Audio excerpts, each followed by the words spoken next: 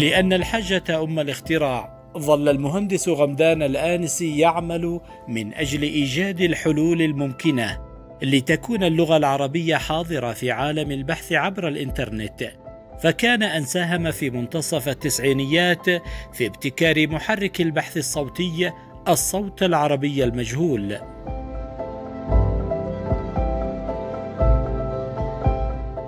مشاهدينا الكرام في الجزء الأول الكثير من المحطات والبصمات للمهندس والمخترع العالمي اليمني غمدان الآنسي.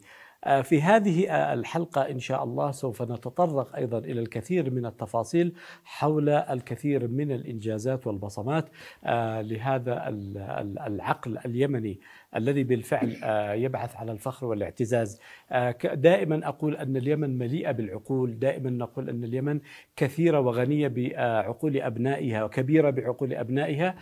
ولذلك نحن في هذا البرنامج نسلط الضوء على أبرز تلك العقول ونتمنى نتمنى بالفعل أن نصل إلى كل العقول اليمنية لأنها ينبغي أن تكون محط احترام وتقدير واعتزاز وفخر.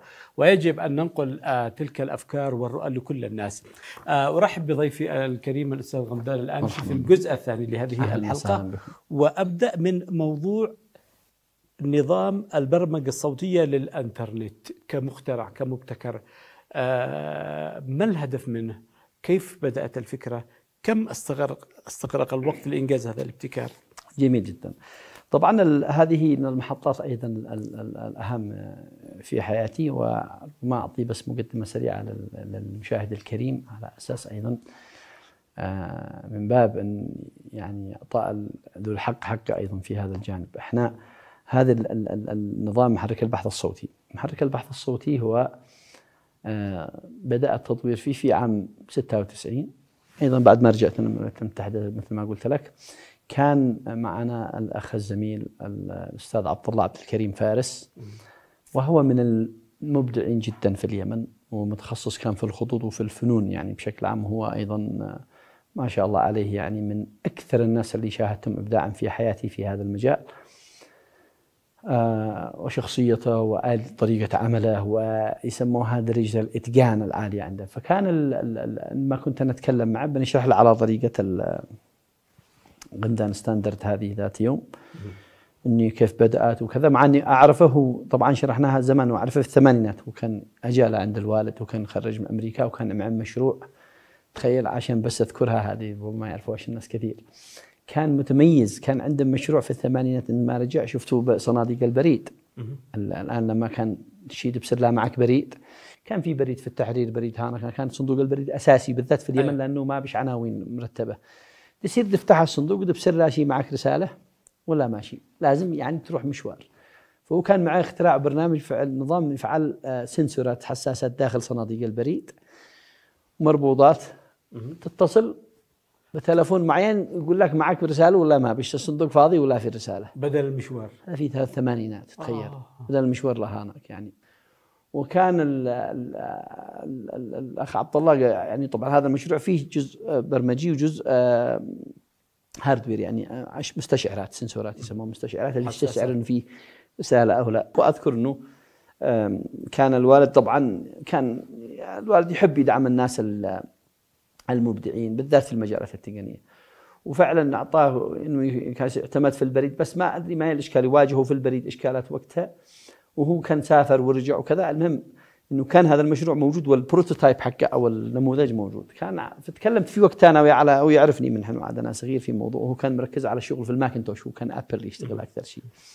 ويفعل خطوط. هو أول من عرب ومن أصدر خطوط عربية للماكنتوش للطباعة الجرائد والمجلات اللي مشهورة جدا. كان مثل جريده جرائد الشرق الأوسط المجلة سيد كان آه، ما أظن شريف يوسف لكن كان في بالذات الخليجي كان يستخدموا fonts الخطوط اللي طورها الأستاذ عبد الله فارس. كان هو يصمم ال font الخطوط الجميلة هذه.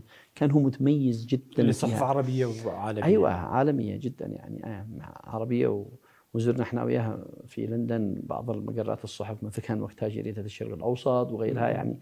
قابلنا من الناس المشهورين مثل الأستاذ محمود كحيل رحمة الله عليه اللي كان مشهور بالكاريكاتير يعرفون الناس كثير كان يكتب يفعل كاريكاتيرات كثيرة. ف آه، فالمهم جاءت بعدين فكرتنا إحنا نطور هذا التقنية نعملها لشيء أكثر أهمية وفائدة. يعني يغطي جوانب أكثر إنه إنه محرك البحث الصوتي. ما هو محرك البحث الصوتي؟ في 96 بدأنا نعمل إنه أنت لما تكتب كلمة بالسبيلنج زي ما ذكرنا التهجئات المختلفة. الآن ما نخليش بس عربي عربي زي ما أو إنجليزي عربي نكتب أسماء عربية بالأسماء الإنجليزية. لكن الفكرة الأساسية فيه إنه أسماء الأشخاص وأسماء الأشياء نطقا تنطق نفس الشيء لكن تكتب بطرق مختلفة من لغة لأخرى. مثلا لو جينا نقول مثلا اسم علي. علي مثلا. علي علي. خلاص يعني كل كل واحد يقول علي لكن لما نقول بالإنجليزي ما يقعش اسم علي مثلا اسم واحد ثاني بالإنجليزي هو لا زال علي. تمام. بس هم يكتبوا A L I ولا A L Y وإحنا نكتبه عين لام ياء وفي الهند يكتبوا بطريقة وفي الصين بطريقة وفي بريطانيا وألمانيا وروسيا وكل دولة تكتبها ب alphabet الناس من اليمين لليسار من اليسار لليمين من فوق لتحت صح. كلها آلية كتابة مختلفة. والكمبيوتر وخزن البيانات وقاعدة البيانات هو يقارن بالمكتوب يسموها. يعني يقارن لك الاسم بالتهجئة المكتوبة المخزونة في قاعدة البيانات. فكانت الفكرة الأساسية هنا أنه كيف نحاول نخليه يقارن النطق على عشان لو كتبوا واحد بسبلنج بتهجئة مختلفة أو بلغة مختلفة تمام؟ نستطيع أن إحنا نلقى الاسم هذا بشكل عام بغض النظر عن كيف كتبه ولكن يتم المقارنة في قاعة البيانات داخليا. كيف نطق؟ دون استخدام ميكروفون لأنه ما نقدرش نفرض أن استخدام ميكروفون ما كانش متداول ولا اليوم حتى أنك لازم تكتب وتبحث بالكتابة. فكانت الفكرة أنه كيف نفعل آلية نحول الكتابة هذا إلى صوت. إلى إلى توقيع صوتي بناء على الجوريثم مش مش على مجموعات إنه الجوريثم يعني معادلات رياضية أو برنامج صغير. آه، وليس مبني على إنه اسم علي يكتب كذا أو اسم كذا لأنك ما كم عاد تغطي لغات في العالم وكم أسماء؟ ملايين الملايين لأن عمرك ما عاد تغطيها. لازم تكون مجددا نفس الفكرة حق هذا انه تكون آلية قاعدة صغيرة بسيطة هي اللي تبني عليها. سبحان الله محرك البحث الصوتي تم تطويره وكانت ونجحنا نجاح كبير. كنا ندين مثل مشهور جدا كلمة زيروكس من شركة زيروكس حق الطباعة. X E R O X لو كتبتها Z E O R C K S تنطق زيروكس لما تقراها لكنها مكتوبة بطريقة مختلفة. فكان وقتها يقول لك ما أعرف إذا هي مشي نفس ال spelling. ولكنها تنطق نفس الشيء. فكانت الفكرة أن يتم عمل المقارنة داخليا ما ينطق ولكن في قواعد البيانات المعروفة مثل SQL قواعد البيانات SQL بشكل عام database ات المعروفة مثل اوراكل وغيرها MySQL إلى آخره مع عفوا ما قلت فيش MySQL هذه كلها النظم المفتوحة ما كانتش موجودة لكن الفكرة انه إنه إحنا نعملها بالطريقة الذي ال industry أو صناعه تقنيه المعلومات في العالم معتمد لها بحيث ما نطلبش منهم إنهم يفعلوا تغيير جذري ما حد يغير. وسميناها الصوت العربي المجهول. صوت Arabic Sound X. X بالإنجليزي معناها المجهول زي ما يقولوا سين وصاد باللغة العربية.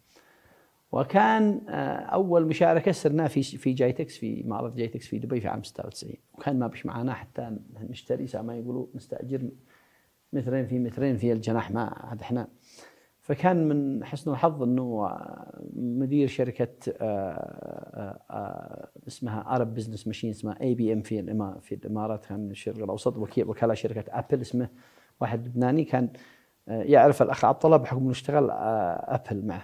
قال له تعالوا إذا تستطيعوا تعملوها بالأبل تعرضوها فوق جهاز أبل مش PC بعطيكم زاوية صغيرة في حق المعرض تقدموا فيها في جيتكس قلنا تمام. فعلا فتمت على الأبل ورحنا المعرض هذا. وكان أذكر هذه أول رحلة للطيران مالت جيت لليمن سافرنا فيها لا دبي. وبعدين وصلنا اول مره اسير دبي يعني معرض كبير ضخم جدا. وإحنا شباب ما احناش يعني يقول لك يعني كان جاء معنا الأستاذ أحمد الذهباني المرحوم الأستاذ أحمد الذهباني ومعاه فريق من المصورين. آه ذكر منهم الأستاذ عادل عبد الباري لو تسمعون معروف المخرج كان معنا في معه في الفريق. مخرج عزيز. أيوه. وبعدين وصلنا لهناك على أساس يصوروا في المعرض معنا. وكان حقنا الجناح الصغير هذا وأبل كان وقتها لا قد نزل الآيفون ولا ال i ولا ال ولا الآيباد ولا حتى الآيبود حق الصوت. كانت ما عاد معها الا ال PCs وكانت في وضع مالي عالمي من صعب جدا. لأني على وشك الإفلاس كانت. استثمرت بعدها فيها مايكروسوفت مبلغ كبير جدا وساعدت لكن في وقتها كان وضعهم سيء جدا. ما قد كانش رجع ستيف جوبز يدير الشركة كان خرج منها. وكان في واحد ثاني بيدير الشركة جون سكالي وكان سبب لها مشاكل. وبعدين رجع آه، فيما بعد لما رجع ستيف جوبز حسن الشركة. لكن في وقتها هذا اللي الوضع. ما كانش المعرض حقهم ما حد يجي يزوره. الناس مركزين على أشياء ثانية. وكان عندنا هذا الزاوية الصغيرة. فكنا نروح نستدعي أجي واحد خاطي نقول تعال ما نوريك. هذا. كيف نوريه؟ نقول اكتب اسمك. مثلا بياناتك وبعدين نبحث به باللغة الذي تشتي. بالسبلنج الذي تشتي. ونغير له اللغة. وهو ها كيف هذا؟ واستغرب شوية شوية. بدأوا يجوا ناس هكذا. بعد شوي كان معنا جناح أوراكل جنبنا أكبر جناح في المعرض يعني في قلب المعرض. وهذا أزحم جناح. كل الناس بيشتغلوا أوراكل كان وقتها.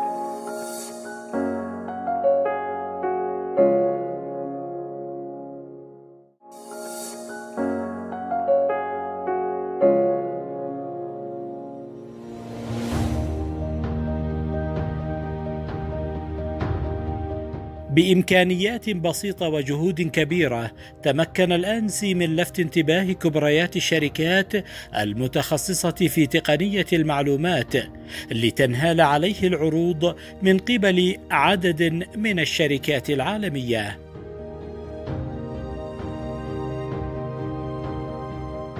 ما بسرنا يوم لو بيجي هذاك مدير اوراكل حق الشرق الأوسط؟ يجي لا هنا يبصر ما أدري من قد جاء كلمه كذا بيبصر لأنه شغلهم قواعد بيانات يشوف كذا وشوي ويجي مرثى وشوي بيدي وفود من عنده ويجي. بعدها قالوا لنا يعني أنتم آه، مستعدين تشتغلوا مع أوراكل؟ عرضوا علينا وقتها إنه يعني نحن نشتغل في شركة أوراكل بمبلغ كبير يعني سنويا وكذا. وجاء بعدها فريق أذكر من أمريكا في أثناء المعرض رسلوا من من سان هوزي من مقر شركة أوراكل في كاليفورنيا وجو شافوا وكذا.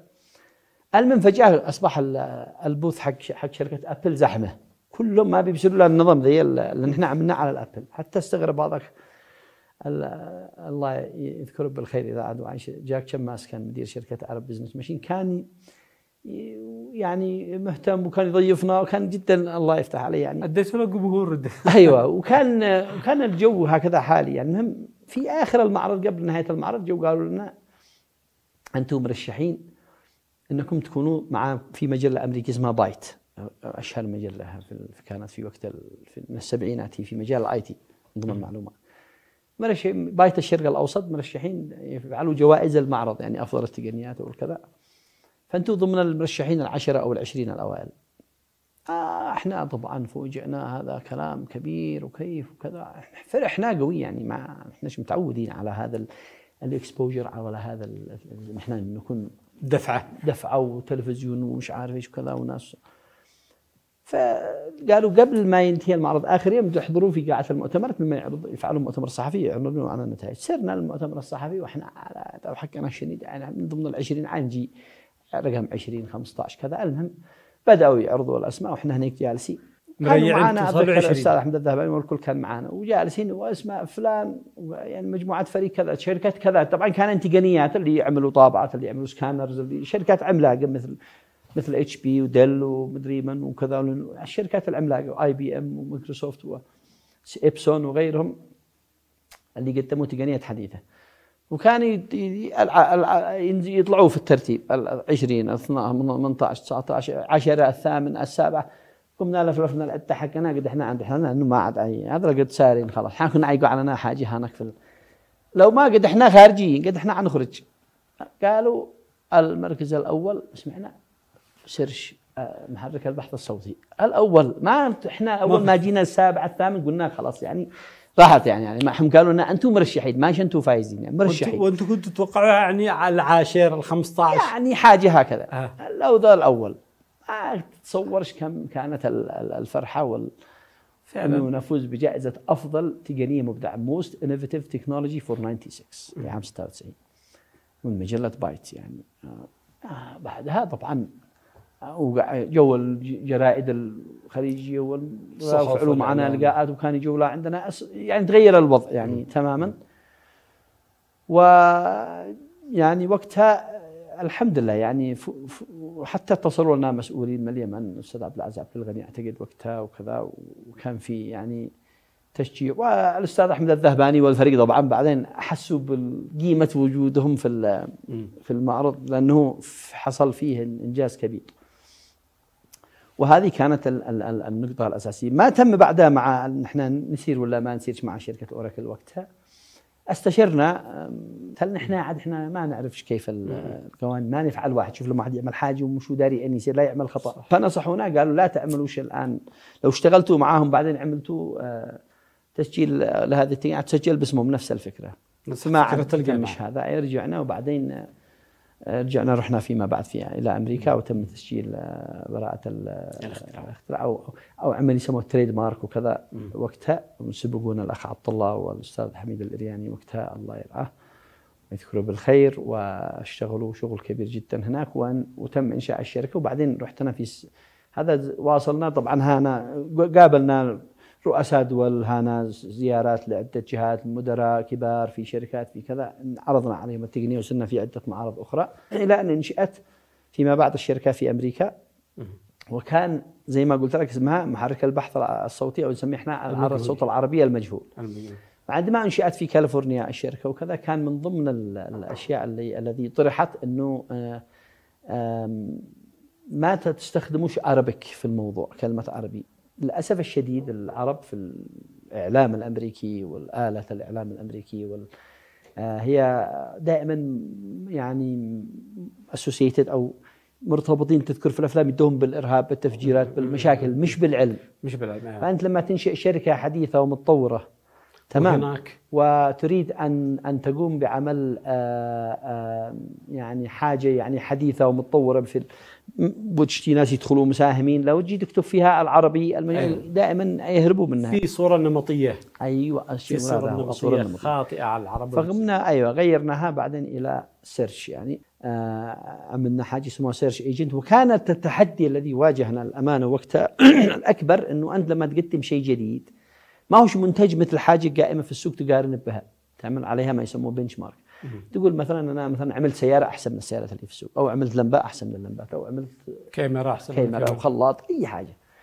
أنت عمل شيء جديد تشرح للناس ما هو. ما بش معك حاجة تقارن فيها. كانت صح. هذا هو التحدي. كيف تحول هذا المنتج؟ كيف تقنعهم أيضا؟ وكيف تحوله إلى منتج سوقي؟ يعني ينزل في السوق. وقتها ما كانش موجوده شركه جوجل عندما شاركنا في في في كومدكس في في في عام 99 تمام. كان كان عادم جوجل معهم ال- حقنا الجناح حق ال search technology أكبر زي حق جوجل. أربع مرات وقدوا باسمنا. وكان زحمة وكنا نكتب الاسم بال بالطريقة ال search كلمة search بالإنجليزي S E A R C H صح؟ بحث. إحنا كنا نكتبها C Y R S H بالطريقة ال phonetics الذي هي طريقة آلية العمل هذا. فكان يخطوا من جنبنا بيصيروا زحمة يجي واحد مثلا أمريكي خاطي يعني مسؤولين كبار شركات عمالقه ويشوف الاسم وإحنا بنشرح search search search وبعدين يدعيني يجي يقول عفوا بس في ملاحظة يقول إيش؟ الاسم غلط. كتبته غلط. بيقول هذا لا أجانب مش هم دارين يمكن بالإنجليزي أو كذا. الشيء نبههم إنه الاسم رجعوا صححوا ال- الاسم. قلنا له أيوه أيوه هو غلط إحنا دارين تجي نوريك ليش هو غلط. بعد تنتشر أيوه بعدين يدخل يقول لك يقول إحنا كتبنا هكذا مقصود عن قصد. ليش غلط؟ قلنا لأنه أن ما تكتب كذا. يلا اكتب اسمك أنت كذا. وبعدين قد كان وقتها تطورت الأمور قد في معنا ال- ال- ال keyboardات اللي هي مبنية على ال USB فكنا نعمل حاجة اسمها nested keyboards نفعل ست سبع keyboardات كل واحد بلغة. ها. أيوه بلغة بلغة بلغة. نقول اكتب اسمك بأي لغة. حتى اكتب اسمك حرف بالعربي وحرف بالإنجليزي وحرف بالروسي وحرف بال... بحروف ما في نفس الاسم بعدة حروف. طبعا كان ينذهلوا كيف؟ هذا يعني شيء يعني رجعوا بعدها بدأ الاهتمام وجو عملوا معنا مقابلات في في ال CNN في ال NBC في آه، القنوات أذكر من تايوان من مش عارف وين كان عملنا لقاءات كثيرة. واشتهرت ال- الموضوع وكان يعني الموضوع هذا كنا في جنوب كاليفورنيا أكثر شركة hot يسموها يعني ساخنة يعني شغالة في في الموضوع هذا وكان عليها focus كبير جدا. وكنا قابلنا شركات كبيرة عملاقة. طبعا الشركات الكبيرة العملاقه يحاولوا يا- يأكلوك يعني. إذا يجي تعمل معهم اتفاق إنهم يأكلوك كذا. أنا طبعا في وقتها كنت المدير ال- التنفيذية التقني مش الجانب الإداري أو المالي. عملي كان كله مع المبرمجين مع التقنيين مع الكذا وكان معنا مبرمجين من كل من كل دول العالم حتى من اليابان كان معنا مبرمجين من روسيا من فيتنام من أمريكا من جهات كثيرة جدا.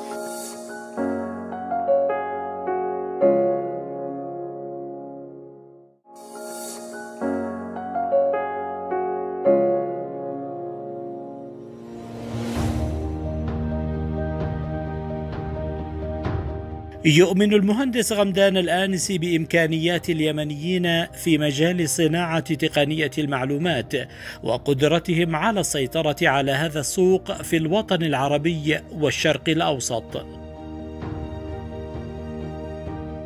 باش مهندس لو تحدثنا عن واقع التقنية في اليمن، كيف تقيمها؟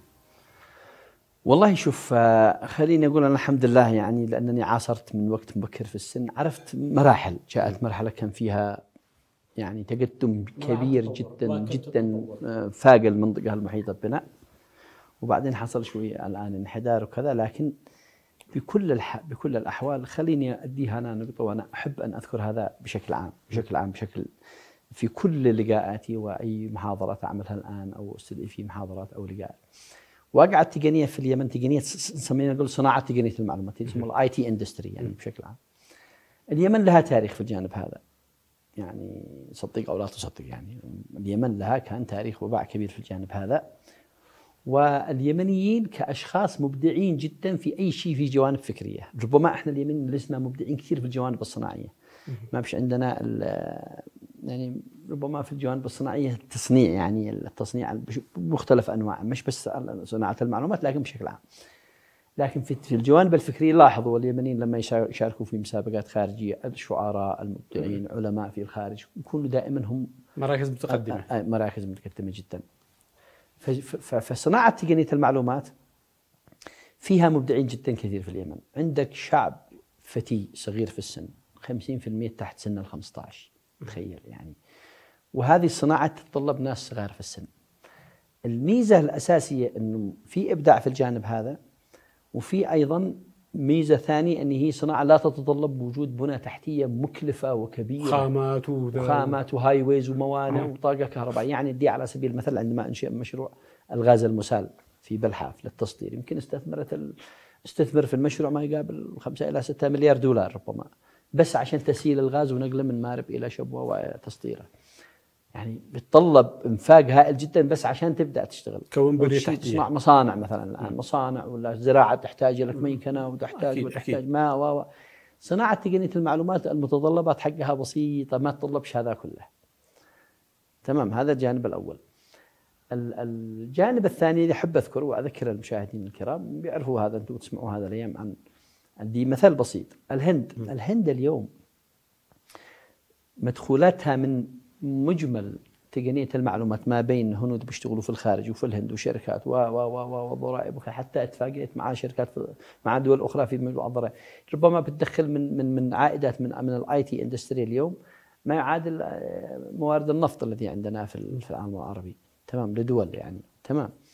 فالهند استثمرت في الثمانينات. شوف الفترة هذه اللي كانت اليمن فيها مستثمرة بس الفرق انه هناك عملوا معسكر يسموها بوت كامبس يعني. تمام. يعني لل زي شبه المعسكرات الصيفية هذه والكذا لكن للبرمجة بشكل أساسي جمعهم يعني. كامل. الناس يعلموا برمجة مثل العسكرة. هذا النتائج حقها اليوم. انه حصل منافسه بيناتهم البين وحصل إبداع لما خرجوا وأصبحت الهند اليوم تدخل من هذا اقتصاد عملاق. أنا أرى أنه اليمن هي هند الشرق الأوسط. بس إيش اللي ينقص عشان تكون أيوة. بالفعل؟ أيوة. اليمن هند الشرق الأوسط أو هند العالم العربي لأنه هنا عندنا اللغة العربية وال واليوم الشباب عندنا مبدعين في الجانب هذا، ليش إحنا ممكن نكون هند الشرق الأوسط وهند العالم العربي؟ ليش؟ لأن عندنا تنافسية عالية، إحنا ما يقدروش الآن ينافسونا، أدي لك على سبيل المثال اليوم إحنا نستغرق الماندي يسموها اليوم العمل الواحد في المجال المحترفين في مجال الكمبيوتر، لو شيء يطور لك برنامج أو يشغل لك أو يركب لك شيء من من من 600 دولار ل 2000 وشوية دولار في اليوم للشخص. أنت لو اديت واحد يمني أنا مبرمج ولا مهندس ولا اديت له 100 دولار في اليوم. بالنسبة له هذا يفعل لك فيها العجب. يشتغل. من اليمن وهو جالس في اليمن الميزة الثانية اللي حصلت لنا سبحان الله أنه كنا ما, ما مشكلتنا لو كنا نشي نشتغل في الجانب هذا أنه ما نقدرش نسافر كانوا اليمن ولا زالوا عندك لا مطار شغال كذا أشياء ومشاكل. وفي نفس الوقت ما حد بيرضى يدي فيزا لليمنيين بسهولة يعني. صح. صح. فين عايشيروها كيف تشغل القطاع هذا وتشي تفعل صناعة تقنية معلومات وانت ما تصير تسافر أي دولة تشتغل وتعمل شيء. صح. جاء موضوع الكورونا شرعا العمل عن بعد. أيوه. عالميا. وأوجد الوسائل والتولز وأوجد الآليات لقبول وتسيير وتنفيذ العمل وقبولها بعد ذلك كل شيء عن بعد. فاليوم إحنا مستفيدين من أكبر المستفيدين من هذا، كنا محاصرين نتحاصر العالم كله، وجدت وسائل طريقة وطرق حديثة، وسائل حديثة. اليوم اليوم شباب يمنيين بيشتغلوا هنا صحيح. في اليمن لشركات كثير في الخارج. أنا على اطلاع كذا. بحكم إنني الآن مثلا في الغرفة التجارية ماسك رئيس قطاع شركات تقنية المعلومات. وأعرف كثير من ش... كل شركات تقنيه المعلومات اللي في اليمن أعرفها منذ تاسيسها أعرفهم كم شخصيا. كم إجمالي الشركات اللي معنا في اليمن؟ يعني إحنا عملنا إحصائيات عندنا ممكن أعطيك نسخة منها كم كم لأنه ما كان فيش معنا أي بيانات واضحة عن هذا الموضوع. مثلا اللي بيشتغلوا في الـ software الموردين حق الـ hardware بيشتغلوا في الـ software يسموها الـ supply chain بشكل عام. يعني دائرة الإمداد حق حق, حق هذا الموضوع ما كانش واضحة. عملنا استبيانات وكذا وبعطيك أنا منها نتائج. لكن بشكل عام أنا اللي أراه أنا أنه إحنا في اليمن الرأس مال الأساسي هم الشباب وهذه الصناعة لو ركزنا عليها ودعمنا الشباب وش أقول لك كيف الدعم المطلوب؟ ما هوش دعم كبير. ولا هو ولا نتطلب حتى تدخلات أو مالية أو دفع يعني بالموضوع. لا. أكبر دعم للشباب تخلي لهم حالة. خليه يشتغل. خليه يشتغل. لا يجوا يأذوه لا يجوا يأذوه الضرائب المدري ما يشتوا منها الآن يدفع خلاص يغلق يشغلوه. البلدية هل مش عارف إيش مكتب التصريح. يعني خلاص يعني هم شباب صغار يعني. حتى الجوانب هذه ما قدش عندهم. كيف أنميهم؟ وأخليها للشباب يكونوا هم واشجعه أشجعه وأخليه ينطلق. هو يدخل لي المردود. تتخيل هؤلاء الشباب كلهم لما تجي تحويلات من الخارج نتيجة الأعمال التي نفذوها. وأنا أقول لك لا يستروا ينافسوها في أي دولة في المنطقة. لا يوجد حتى في العالم لأنه عندنا الدخل رخيص لكن لو شليت اليمني هذا وقلت له تعال اشتغل في دبي أو في الخليج أو في أمريكا أو في دولة خارج اليمن ما عاد تكفي الشت هيكل 100 دولار في اليوم. تمام؟ لكن هنا عاد تكفي وبيشتغل فيها. وعن بعد. اليوم في شباب هنا بينفذوا أشياء ما تخيلوها يعني الشركات عملاقه في الخارج. تطبيقات برامج برامج لو تحولت لصناعه أنا عملت دراسة بسيطة صغيرة حسبها كذا لو كنا 4% من الشباب مش الكل. 4 اخذنا 4 إلى 5% فقط. من الشباب المؤهلين في مرحلة عمرية الذي يقوموا بهذا الأعمال. من قطاع من السكان. أنا قلت لك 50% تحت سن 15 وأهلناهم وشغلناهم تعرف كم ممكن ندخل؟ كم؟ وعلى أساس معدلات شغل بسيطة متوسطة مش زيادة يعني. كم؟ ممكن نوصل 18 ل 22 مليار دولار في السنة. أكثر من عائدات اليمن للنفط والغاز والبترول والضرائب والسمكيه والزراعة والجمارك والضرائب مجتمعة. آه. تمام. من هؤلاء الشباب. كيف نعمل؟ كيف نخليهم؟ خليهم يشتغلوا ينطلقوا لا نتعبهمش لا نرهقهمش يعني. تمام. صحيح. تخيل هؤلاء لو بدأوا يحولوا الناس كلهم. هذه أعظم من المغتربين أعظم من أي فعلا. وسيلة أخرى. فعلا. وشباب موجودين هنا وسيؤثروا بطبيعة الحال في رفع مستوى الإدارة والأتمتة في البلد لأنهم هنا يأثروا وأيضا حيكونوا مصدر إلهام للكثير من الشباب. الكثير. هو هذا هذا هو الحاصل فعلا. اللي يشتغلوا في الـ graphics اللي في الكمبيوتر في, في البرامج في التطبيقات في في, في الدعم الفني في الـ call centers مواضيع الـ call center إحنا إحنا الـ call center حق العالم العربي اليوم الهند هي الـ call center حق العالم. آه. call center شوف لما اتصل مرة وأنا في أمريكا بين اتصل شركة الكهرباء عشان أستعلم من فاتورة. وبيجاوبوني بين أقول لها كذا كذا كذا كمل. يقول عندنا صواعق وكان وقتها صواعق ومطر شديد بين يقول ما إن شاء الله عندكم ما فيش صواعق هذه ما تاثر قالت لي عفوا أنا أصلا مش أنا في كاليفورنيا. قلت فين؟ قلت في ولاية ثانية. قالت أنا في الهند. هذا الكلام في 2000 في الهند يعني وكل العمل حق شركة الكهرباء الـ call center اليمن هي call center العالم العربي. كيف نخلي الـ call center هذا يشتغل مثلا؟ وبعدين طبيعة عمل الـ call center يعني labor intensive يعني يشغل عدد كبير من العمالة ميزته. ومش ضروري يكونوا مؤهلين. تكتب لها ما يجاوب في الشاشة ما يقول مع العميل لكل زبون لوحده في آليات وأنظمة جاهزة لهذا المواضيع.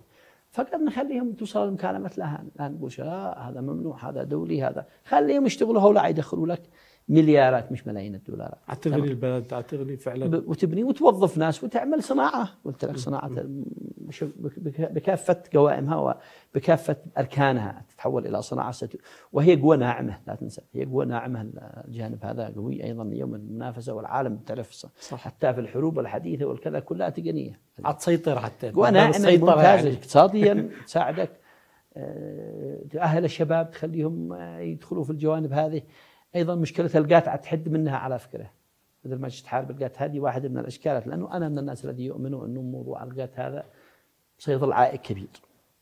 إلى ما نقدرش نوجد له حلول ولكن أحيانا تجي بدل ما توجد له حلول وجد عمل وبيئة تخلي القات ما عادش مهم يعني. ولا وإن ظل القات ممكن يعني يعني أنا أقول يعني ممكن يستمروا. على طبيعة العمل هذا تقبل إنك تكون مخزن وتجلس وتشتغل عادي.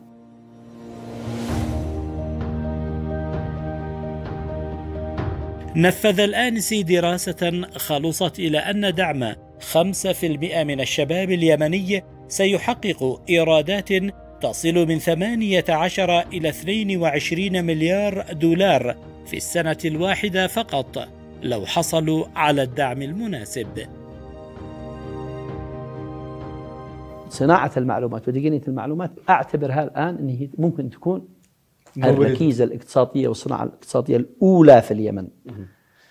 ولو بدأنا بإعطاء منطقة حرة للشباب في صناعة المعلومات هذا خارج القوانين المناطق الحرة في العالم خارج الأضر والقوانين خارج النظام مثلا الضرائب والمش عارف إيش والإتاء خارجها. خليهم يشتغلون في الأخير أنت عتستفيد عتستفيد في الأخير. عتستفيد والله في الأخير. وبعدين مبدعين إحنا ما عنستفيد شو نقع منافسين إحنا أصلا هذه واحدة إحنا من الناس المبدعين فيها. يعني بناخذ أفضل ما عندنا ونزيد نستثمر فيه ونخرج به بشكل أقوى يأثر بشكل كبير جدا على الاقتصاد بشكل عام يعني. سيحول اليمن سيعمل نقلة كبيرة. إن شاء الله نحن نوصل إحنا أنا هذا دائما الذي أتمنى أن إحنا نوصل إليه طيب. في اليمن. إن شاء الله يا رب. وهي رسائل ربما غاية في الأهمية. نتمنى أنه تؤخذ بعين الاعتبار هذه الرسائل خاصة فيما يتعلق بمستقبل هذه الصناعة في اليمن كونها أنه حتكون لها واقع كثير وحتغير واقع اليمن والله. نعم. نعم. طيب آه، من خلال آه، حواري معك إنه اتضح إنه في تأثير كبير للبش مهندس الأستاذ آه، أحمد الأنسي حفظه الله نعم. نعم. أيضا لك تأثير على عبد الرحمن عبد الرحمن غمدان أيوه وعلى الأولاد بشكل عام لكن م. نعم نعم أيوه م. عبد الرحمن شوف عندما يكون البيئة عندك عبد الرحمن هو أنا فوجئت في الحقيقة يمكن أنتم شفتوا في حلقات كانت بعد في العيد حق آه، الابتكار المسابقه الوطنية الابتكار أنا رئيس كنت رئيس هذا السنة رئيس لجنة التحكيم فيها ففوجئت في يوم من الأيام بيتصلوا لي بيقولوا لي أنت معك ولد اسمه عبد الرحمن المعدين حق البرنامج ومن نائب رئيس الهيئة الهيئة. آه، بيسألني أنت تعرف معك ولد اسمه عبد الرحمن؟ قلت له أيوه. أذكر بيقول لي هو يتحاكى هو يتحاكى عربي؟ ولا قلت له أيوه ليش يعني ما علاقة عبد الرحمن كيف لو ما قال إحنا عملنا معنا فقره الفكر الصغير وكان واحد من الناس اللي قابلناهم وبيتكلم بالإنجليزي ومش عارف إيش فأنا استغربت يعني. هو طبعا ما هوش ضمن المسابقة هي فقره بس عامة ما ما تدخلش في التقييم. مش من ضمن المتسابقين الرئيسيين. فعبد الرحمن هو كله اهتمام مثل بقية الأولاد الأمانة كلهم يعني حتى الأولاد الكبار وال والصغار لهم اهتمامات كلهم دخلوا في الجوانب التقنية بشكل عام في هذا المجال بالذات. لكن شاءت الصدفة أنه عبد الرحمن هو شارك في المشاركة في المسابقة هذه وعرف فيها. وفي الروبوت اللي بيصنعه. ودحين هو معه مشروع ثاني وكذا بيشتغل فيه. وإن شاء الله يعني أنا الأمانة يعني عشان أكون يعني صريح أيضا شاركوا في المبتكر الصغير أطفال أيضا ابتكارات أكثر وأكبر. يعني في أطفال أنا كنت كانت أسعد فقرة عندي في المسابقة كانت المبتكر الصغير وحتى عند بقية الحكام. من أطفال عملوا حاجات يعني بهرونا الأمانة أبهرونا أبهرونا وأنا شعرت ب... وأكدت على موضوع أنه طمنت أنه فعلا اليمن هي تكون هند الشرق الأوسط وهند العالم العربي بهول الجيل والذي قد موجودين الشباب الآن. صحيح. لأنه في في مخرجات في ناس بيبدعوا واليوم الإنترنت اليوتيوب الناس بدل ما يشوفوا الأشياء أيوة. وأولادهم الأشياء الكلام الفاضي وال يستفيدوا الأشياء المفيدة. عالم ما كناش نوصل له. ما كان بزمان ما اشتغلنا في ثمن لا إنترنت أيوه. ولا عندك وسيلة تتعلم بها. صحيح. يعني هذه من الأشياء اللي يجب الاستفادة منها. اللي يجب الاستفادة منها وان هي توجه توجيه صح. أه حقيقة إحنا سعداء باش مهندس إنك أه أعطيتنا من وقتك الثمين في هذه الحلقتين أو هذين الجزئين من برنامج بصمة وبالفعل نتمنى لك المزيد من التوفيق والنجاحات القادمة إن شاء الله.